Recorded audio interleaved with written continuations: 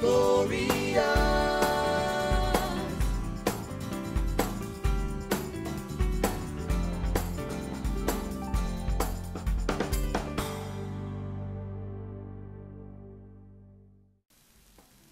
my name is Kevin Bohli. I'm the director of the Office of Youth Ministry for the Catholic Diocese of Arlington.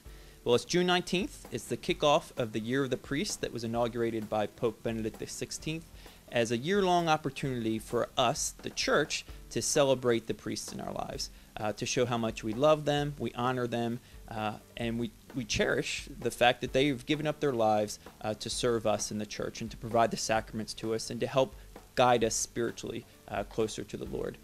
Uh, if you're interested in having a video clip like this made, uh, send me an email at k.bohli at arlingtondiocese.org.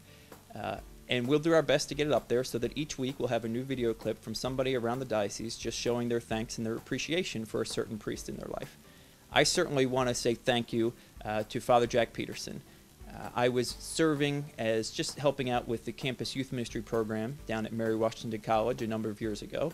And Father Jack, he became a close friend and we had a lot of fun together, but I was really there just kind of helping out as a worker bee and never really diving too close into my faith life.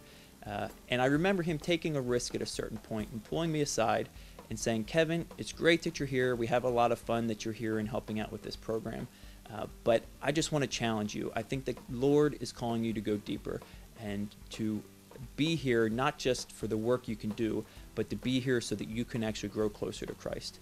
Uh, and that became a process, that began a process of him being my spiritual director and just stepping me through this whole process of attempting to grow deeper in my relationship with Christ. Uh, so, Father Jack, thank you for the many years that you worked with me and inspired me uh, to leave uh, my engineering position to go on to do youth ministry. I certainly am in a much uh, more joyful place uh, than I was many years ago, and I really have you to thank for that. Uh, so, thank you for answering your call to the Lord. you'll be in my prayers throughout the year, as will all the priests um, that this can truly be a year to help each one of you uh, to grow in holiness and uh, in a greater joy for the sacrifice that you've made for the church. So thank you.